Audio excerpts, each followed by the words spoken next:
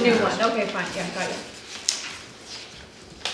Yeah, Uh, there will be, I think that the bylaws, uh, the community charter is for the next calendar year. Yeah, so our procedure, and our procedure bylaw indicates it needs to be for the full year irrespective yeah, of what council yeah. wants. okay, but it, there will be a meeting not on a Monday night after, immediately after the election, won't it? Uh, it is, Who cares? it used to be the first Monday in December, the Oh, inaugural okay, meeting, now the it's gonna first. be the first Monday in November. Right, so it'll be the first Yeah. rather than the second. Yeah, and that's, uh, different from the regular No, the business. second would be the regular business meeting. We're saying the same thing differently. Yeah. Oh, okay, so the, so the fact that there will be a November one meeting does not need to be on this thing? No. No. Okay, fair enough. That- That's set by the the regular meeting. Gotcha. Okay. So I suppose actually, before I go to the stuff pulled, we should look at the twelve ten, which is the link for me. oh no, I'm sorry. No, we're done. Consent agenda first, my apologies. Three point seven. Let's do three point seven, so Yeah, Seven, nine, no ten. one's going on. so who pulled Melanie three pulled point seven? three point seven. No? Yeah. I'll just wait for Dan, okay. I was just making sure I had written that down. I wasn't at the public hearing, but I did read through all the letters and everything, and um, the one that caught my eye was the one from Mark Edmonds about natural assets, and I don't know how one puts, you know, asks for amendments or inclusion, whatever, but I was just wondering perhaps as an additional amenity, if natural assets to deal with stormwater management could be included. I I thought you raised some good points, so that was just my comment that I wanted to forward on. Sure. Um, I know that some of that is incorporated in the, the CREAS report that was done in, presented I think in July. Right. Included information sort of bioswales and Yeah. stuff, and they had, it at that point, not all of the site-specific stuff is done. Um, so that could be part of our, like, development agreements, that that be emphasized where possible. Is that, Are Is we good putting that vehicle kind for of that? stuff in the new subdivision servicing bylaw to have more of the bioswale type stuff rather than the normal, what we're used to? Um, what's in our subdivision serving bylaw, I don't think includes, it's more developments based than, than how it's done. So it's more saying it needs to manage this amount of, you know, thi- this storm event and the runoff can't exceed this amount, rather than, um, yeah. Hmm. So, yeah, if- if these changes become substantive enough, we may have to go back to public hearing. Yeah. If, if, if we, st- you know, we've gone through public hearing now on it, so it's, it's had its readings and so on. but what were you saying about the CREAS report? Can we just Mhm. emphasize it if it's already been? Well, I just, what I was saying to the mayor is I would ask for a council resolution for any changes to the bylaw at this stage. So this wouldn't affect the bylaw. Okay. Oh, okay. This would be about, you know, any, any agreements that we have or kind of subdivision is just emphasizing those points. At the In- time of in- subdivision? Yeah, in the, in the, um, CREAS report already submitted by the applicant as part of their, um, brief on stormwater, how they're gonna manage stormwater. So it talks about some elements of natural element, of natural, um, assets, like using natural assets towards stormwater management. And so we'll be working with the applicant to emphasize that. Sure. Fair enough. Um, I was interested in, uh, comments from some of the neighbors, uh, two things. One person said that the, uh, water level was the lowest they've ever seen it in the lake this year. And, uh, I was, I was wondering where I would go to see, find the data on the water levels if I wanted to check that. Sure, so- Is it on the website? So they're published, um, I don't know if we collect them somewhere, I know the Cove Bay Water, so the Cove Bay Water minutes, for example, published them, so I was looking at in November of twenty sixteen, the minutes, um, included in that are, um, tracking the lake and tracking usage throughout the year. So there are, I think they're often included in the annual reports, or if Bob just public, Bob just brings them to the Cove Bay Committee on a, you know, each year. Okay, so they are They tracked. are tracked, Okay. and they are. And then the, the other part um, that I just wanted to be clear on, uh, people asked, um, how, uh, if I have a well um, nearby, uh, how, how do I know that my, I will still have water later or something like that? Do we have an answer? Um, so, I mean, some of the people who came to speak on Connolly Road, they have water license, some of them have water licenses from Terminal Creek. Um, so I think their, their concern would be one that, you know, that's not impacted, and I know that as part of our water license, we're required to ensure that Terminal Creek Disperses Yeah, so much water. so when, when the lake is low enough, like it was in the summer, or generally is in sort of August, September, till it starts to rain again, we're pumping water around the dam to ensure that there's sufficient water in Terminal Creek, and that's to meet the water licenses that are downriver and, um, fish habitat. Habitat. Um, so that's, that's number one. Um, number two, I guess, is that, so any work done that runs into Terminal Creek, um, falls under our development permit guidelines, so we're already requiring development permits that do not impact the water quality, and that's specifically, well, one, it's a riparian area, and then two, it's because there's water licenses on the creek itself. And then third, I guess, would be that if, you know, a catastrophic event takes place and, you know, somehow it's impacted, that the, the, the property is essentially between Grafton, the Grafton development and um, Snug Cove, with the water treatment in place, would be eligible to come to apply to join Cove Bay Water. They would be subject to our normal expansion policy and normal, you know, accounting at the time, and they'd be paying for their infrastructure, but that would be an option, I would imagine, that council. Thank you. Um, When I chaired Cove Bay Water back in 2003, 2004, we had a 50-year drought, the lowest that it, that it had been. And I got measuring devices and stuff and stood out on rocks and, and figured out drops and heights and so on. And I went back uh, last year and there was, it goes down about a meter from the old height. um, And it stays within just a matter of inches and has not varied. And I asked Bob to put, the Cove Bay water gauges the height at the dam. So it has nothing to do with the height of the lake, because the water has to be pumped from the lake over the dam, and so there's no water in, in that area. And he was gonna put on a scanned or what- whatever they call it, uh, thing on the flow out in the lake, but he just didn't do it. So the numbers that I got on lake height are not correct. Uh, They're, they're, they're from, not in the lake, they're from the other thing. But having said that, uh, I've checked it many times, and I actually have photographs of it from this year, from taken in two different months. And it really hasn't gone down anymore uh, when you're standing out on My concern was just that we were tracking it and Yeah, but not well. I mean, seriously, we should, uh, it was a recommendation that, that I had, had made, uh, that Public Works uh, get an actual floating gauge out in the lake. And I don't Yeah, know, that's if he- maybe should he's done it now, I don't know. Yeah, But, but It like I can all be done electronically, and it's pretty simple. well, yeah, you just have to have a battery, and you have to have a thing, and it's got to send it off, but, uh, Can, anyway. can we, um, I would just like to make sure that with climate change and with these changes, that we've got the best information going forward. And I know that the technology keeps in- improving, so can we ask, uh, uh, Public Works staff to, um, report on the kind of data they're Metering system. Or, yeah, No, it's a link. yeah, yeah, yeah. Sure. Do you want to make a resolution in that? Um, I think we can just ask, uh, Oh, between okay. Dan and Yeah. I, we'll just Yeah. ask Bob. Yeah, that's fine. Yeah. Thank you. I just wanted to Yeah. find out about how we're collecting this info and what, Sure. thank you. Okay, Respond to those questions. Somebody else had something they wanted to discuss, Melanie? Yeah, I was just wondering, do I need a, um, a resolution in regards to the natural assets being Well- discussed at? See, that's a tough one, because develop subdivisions are, are dealt with uh, solely by the approving officer and deputy approving officer. And the idea is that it's not, it's not influenced um, by council. So certainly as a approving officer, I can take that under advisement and work with our hopefully soon to be future deputy approve- approving officer, shameless plug there. And um, we'll, we'll look into, Okay, can okay, commit, can commit to that. okay, cool, Okay. okay. Okay, so, yeah. um, It's- I move that we adopt the recommendation as per the agenda.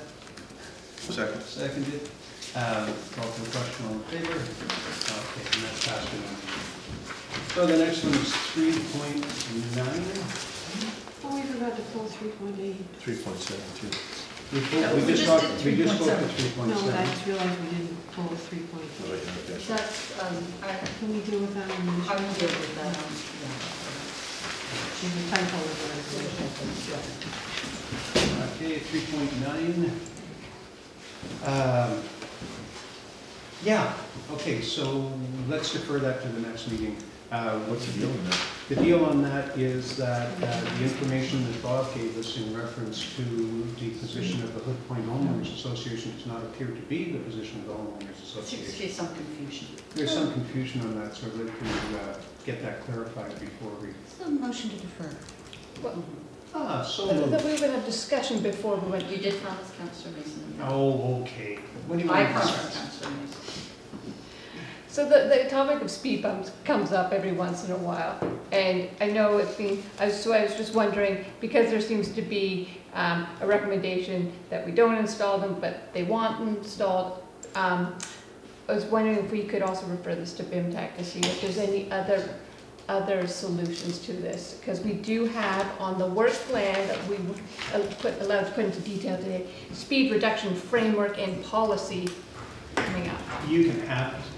I, I, I would be very appreciative of that because it's, it's, it's, I, I worry about dealing with areas of the island in isolation. Yeah. So mm-hmm. depending Yeah. on who will show up at a council meeting, and I think looking at it policy-wide and something, I, I, But I think maybe also looking at other ways Yeah. of being able to calm, because we always seem to come up with the same thing, that Yeah. people want the speed bumps, but Public Works doesn't seem it's feasible because of a whole host of Yeah. valid reasons, so there must be other ways that we can mm-hmm. Calm Traffic. traffic down. Traffic calming in general. Yeah, yeah, Well, definitely. the I- one thing I was gonna suggest was that little sign that was down there that says your speed is, that was on the main road for. It's Yeah, just it temporary. seems to come and go. No, they. I think, I think BIMTAC looking at maybe a, a policy put in place, um. Or a work range of options on the work plan. It's on the work plan. Okay, okay, Okay, three ten. so we definitely, so, uh, so three nine is deferred to a future meeting and refer to BIMTAC. Do we we'll vote on that? I think it's a good idea, yeah, Sure. to All defer, in favor? For a Passed policy. unanimously. yeah, defer to BIMTAC for, uh, island-wide policy. And I think we just need to get it sort of sorted before spring comes, Yeah, and that's, Right, that's when we're gonna need it. Okay, three ten. Yeah, this is one um, I pulled, and it's one deferred, so actually it goes back rather a long way. And on, on that, um, on that uh, Snug Sewer uh, Management Committee meeting, there was an action item that really caught my attention, Yeah. and it is going back. And it, it's a one sentence, and it says, request that the engineers write a letter to Miguel Cabanzo, proprietor of the proposed vodka distillery, reiterating the potential costs of the commercial connection to the community sewer and ensuring there is a paper trail where the payment of these costs, where the payment of these costs become contentious, and then in brackets, Bob Robinson. Now, I'm, I'm sorry, it just left me with a couple of really sort of, hmm, I wonder, let's see where this is going. Uh, it makes it, made me feel that Miguel Vanstock needed someone in, on his side, and um, given how far that property is advanced, I rather hope potential costs of commercial connection are long behind us. It's a bit late to be looking at potential costs. I'm just hoping it's the way the minutes reflect this and that the issue has been dealt with because it just didn't read well. And, and I, I, when I read it, I thought, boy, let's just, let's just ask the question. Okay, Sue Ellen? Um, I was at that meeting, and uh, this is a fairly informal group uh, discussion. I think it might be ca- difficult to capture the, um, in the minutes very well. Um, Part of what I recall is that uh, uh, our um, Director of Public Works had been uh, talking to the proponent about how uh, a distillery, which is going to create large volumes of liquid uh, waste, um, could put them into the Snug Cove sewer in a way that didn't overload the sewer Right. at any one point. So there are tanks and there is timing and there is, uh, and they, the point is that this had been a long discussion and uh, that uh, the idea of putting some of it down in writing so people 10 years from now or whenever could refer to it. That's what it was about. Absolutely fine. It gets lost in the translation. It just did not read well, and it's now part. If you excuse the expression, it's water under the bridge. Um, Well, these are still draft minutes, we could ask No, people to. no, no. I It's think dealt with, that it's Because dealt we with. only meet a couple times a year. Exactly, it wasn't an issue, it just read rather strangely. when we built it. It is something that could be perhaps tidied up by staff. I think she keeps notes and, I'm uh, sure. I think that would be a good idea. yeah, so we can, um, uh, rather than accepting these, uh, minute, rather than accepting these minutes now, we could, uh, uh, return them to staff to consult with Bob for clarification. See, I don't even know when we're gonna meet again next. May I suggest that perhaps it just requires a deletion here and ensuring that there is a paper trail, period? Well, but they have a reason for this, I believe, and I think the reason is that, that depending on how this is pumped out of that building, and they have big holding tanks downstairs, so depending on the volume that they do, the waste that they have, how long they let it settle, all of this stuff, they could overload that system if the guy just turns on the, the pump in the middle of the night. So, um, uh, the sewer system has grave concerns about the potential problems that could be brought about to the whole system from that, and they want to caution the owner. Yeah, I know. This has to be, Thinking about it. has to be very, very careful. So I, I think that if this reflects, and it probably does reflect what they say, I mean, I would, I would leave it there, because are the minutes, right? I mean, it might And not we be will- politically correct, but it doesn't mean they didn't say Well, it. maybe they I mean, I'm on the should select board sewage committee, and we will look at these minutes in time, and I will uh, make a point to bring these up and make sure that they would accurately reflect. Because this project is well down the line, and you, you kind of think we'd like to get these details, that they're Well, really, yeah. really, really significant before we start the project, let- not in the middle of it. Uh, but this is the first project of this kind, we've never had a distillery in Snug Cove before, uh, let alone, uh, an industrial scale kind of Hopefully, activity. first of many. Uh, Okay, it's, it, it, okay. Okay, I can talk more later. That was done. I had originally pulled these minutes Uh-huh. for the last meeting, but by the time we got to that part of the Yeah. meeting, I had left. So we just accepted them, or deferred them to this meeting. Right. So the things that I was raising were that one that Michael has just raised, because commercial connections pay a lot more, and if they're running through an awful lot of water, then have they realized how high their bill's gonna be? I mean, maybe it's that interpretation too. Right. Um, The other is, um, the immediately above it bullet, request that the consulting engineers write a letter to the Snug Cove House Society referencing the report and informing that the municipality is unable to make a decision regarding their sewer connection payment at this time? What is that all about? Or was that a typo? It should have been, um, Well, They don't know how many units they have. To be honest, I don't recall. I didn't read my minutes, I'm sorry. because, I mean, we did the agreement where they paid the lump sum, so I was totally Sure, they'll pay curious their- as their to. Or Whatever, whatever, whatever the number is. This is for- an advisory committee. Yeah, why don't I ask Bob to provide clarification on those two points and report back to council? And the third was the one I raised today, the expected surpassing of hundred cubic meters per day discharge rate, which would trigger wastewater effluent regulations and the result in operational cost increases. And that was referring to a report from Public Works, Kerwood report about sewer capacity. That refers to, we've got, And we've that's the got, discharge out into the Yeah. street, into the town. Right. Yeah.